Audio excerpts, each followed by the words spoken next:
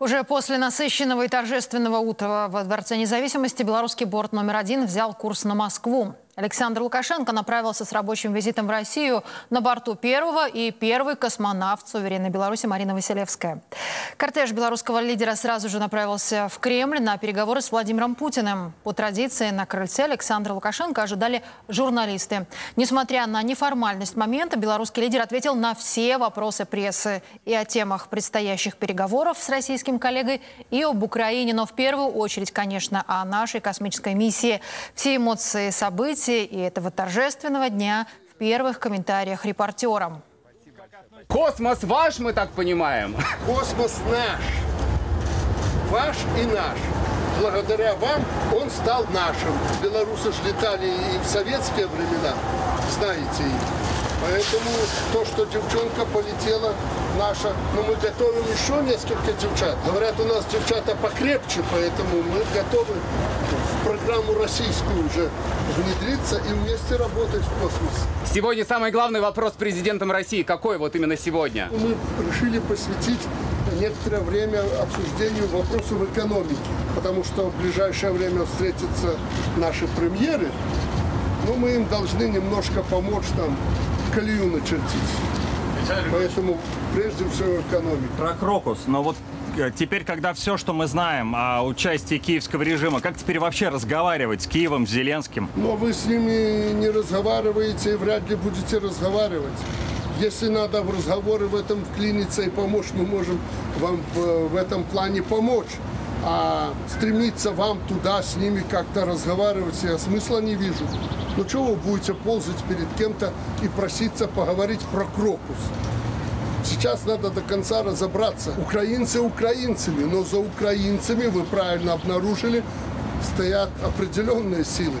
Вы тоже их знаете. Вот с теми надо разговаривать, а украинцы тут э, патроны подносили. После выборов Владимир Путин говорил, что может потребоваться санитарная зона для того, чтобы обеспечить безопасность приграничных российских регионов Белгородской, Курской области. А вам такая нужна? Пока я не вижу необходимости в такой зоне. Мы там очень серьезно работаем. А что касается санитарной зоны Украины с Россией, ну ее надо еще создать. Это же непростые вопросы. Думаю, что многое будет зависеть не только от воюющих стран, но будет многое зависеть от западных государств. Там проблемы серьезные у Украины, они уже это признают. Не хотелось, чтобы Запад продолжал эту эскалацию на Украине. А эскалация – это поставка оружия, боеприпасов. Ну и сейчас они начали поговаривать о переброске своих уже военных в Украину, ну, быстрее, скорее всего, на границу Беларусь. Ждем, пусть перебрасывают. Спасибо Как большое, относитесь спасибо. к мобилизации женщин, скажите? Очень отрицательно. Женщины должны летать в космос. И если уж очень захотят в армию, то ладно, пусть э, служат. Но заставлять женщину, которая должна рожать в армию, направлять на гибель верную, это глупость полная. Это безысходность. Я против. А По экономике вы сказали, это про цены. Вы недавно говорили, что цены на промышленность, товары промышленности. Знаете, по большому счету экономика состоит в том, коль мы уже агрессоры, так откровенно говоря, то равные условия для субъектов хозяйствования должны и для людей должны быть равны.